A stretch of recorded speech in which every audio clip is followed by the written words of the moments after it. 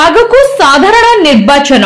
ଏଥିପାଇଁ ଜିଲ୍ଲା ପ୍ରଶାସନ ଓ ସ୍ଥାନୀୟ ପ୍ରଶାସନ ପକ୍ଷରୁ କିଭଳି ଅବାଧ ଓ ମୁକ୍ତ ନିର୍ବାଚନ ହୋଇପାରିବ ସେ ନେଇ ସମସ୍ତ ପ୍ରକାର ଜନସଚେତନ କାର୍ଯ୍ୟକ୍ରମ ହାତକୁ ନିଆଯାଇଥିବା ଦେଖିବାକୁ ମିଳିଛି।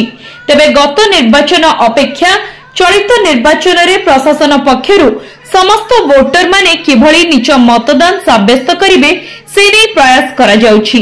ବିଶେଷ କରି ନୂତନ ମତଦାନ ତଥା ଯୁବଗୋଷ୍ଠୀଙ୍କୁ ନିଜ ମତଦାନ ସାବ୍ୟସ୍ତ କରିବା ପାଇଁ ସଚେତନ କରାଯାଉଛି। ବିଭିନ୍ନ ଶିକ୍ଷାନୁଷ୍ଠାନ ଗୁଡ଼ିକରେ ନିର୍ବାଚନ ପାଠଶାଳା କାର୍ଯ୍ୟକ୍ରମ ମାଧ୍ୟମରେ ନୂତନ ମତଦାତାଙ୍କୁ ସଚେତନ କରାଯାଉଛି ଓ ଛାତ୍ରୀଛାତ୍ରଙ୍କୁ ନେଇ ସଭା ଓ ଶୋଭାଯାତ୍ରା କରାଯାଇ ଜନସଚେତନ କରାଯାଉଛି। କୌଣସି ଦଳ କିମ୍ବା ରାଜନୈତିକ ବ୍ୟକ୍ତିଙ୍କ ଅର୍ଥ କାରବାରକୁ ନା କହିବା ଓ ଉଚିତ ପ୍ରାର୍ଥୀ ଚୟନ କରି ମତଦାନ କରିବା ଉପରେ ଗୁରୁତ୍ୱ ଦିଆଯାଇଛି।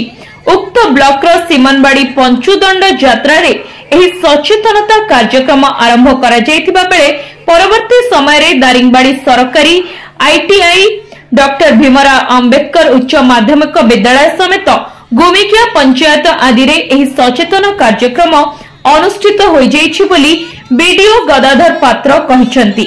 ଏଥିରେ ସରକାରୀ ଆଇଟିଆଇର ଅଧ୍ୟକ୍ଷ ଇଞ୍ଜିନିୟର ପ୍ରଦୀପ କୁମାର ସାହୁ ଡକ୍ଟର ଭୀମରାଓ ଆମ୍ବେଦକର ଉଚ୍ଚ ମାଧ୍ୟମିକ ବିଦ୍ୟାଳୟ ଅଧ୍ୟକ୍ଷ ଡକ୍ଟର ପ୍ରତାପ ବେହେରା ଓ ସମସ୍ତ କର୍ମଚାରୀ ଛାତ୍ରୀଛାତ୍ର ସାମିଲ ହୋଇଥିଲେ ଦାରିଙ୍ଗବାଡିରୁ ଅରୁଣ ସାହୁଙ୍କ ରିପୋର୍ଟ ଧରିତ୍ରୀ ଲାଇଭ୍